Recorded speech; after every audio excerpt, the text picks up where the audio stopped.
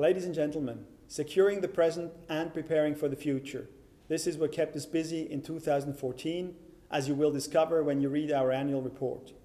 Because we live in a rapidly evolving information society, we must help to put in place the framework conditions which enable Switzerland to take up tomorrow's challenges in relation to telecommunications, the media, and postal matters.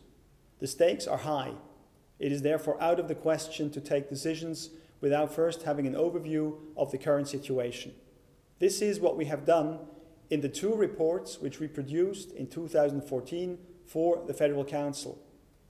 They describe, on the one hand, the Swiss media landscape, and on the other, the state of the telecommunications market.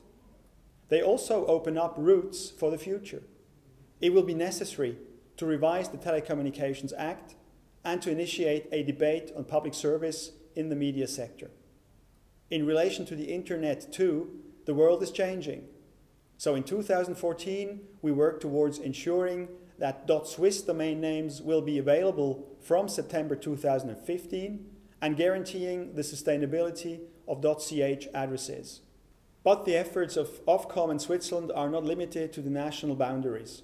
Within the International Telecommunication Union and the Governmental Advisory Committee of ICANN, the corporation which manages internet domain names.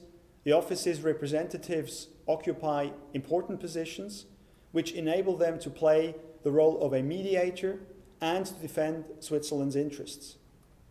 The extent of the upheavals in the areas of, for which Ofcom is responsible certainly make our job a difficult but also very exciting one.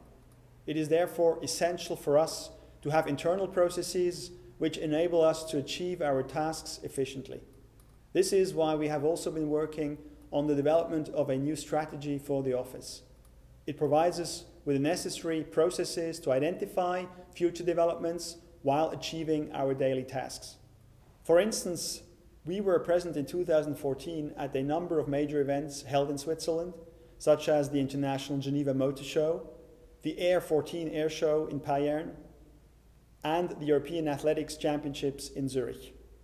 Our mission then, to guarantee that wireless communications have sufficient frequencies and to ensure that they function without interference.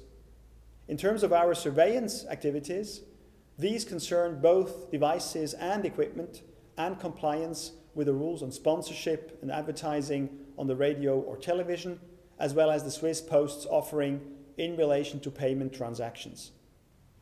This annual report also presents an overview of my first year at the head of the office.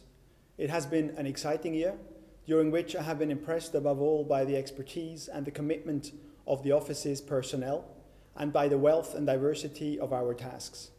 I think that you will agree with me as you peruse Ofcom's 2014 annual report. I do hope that you find its contents interesting.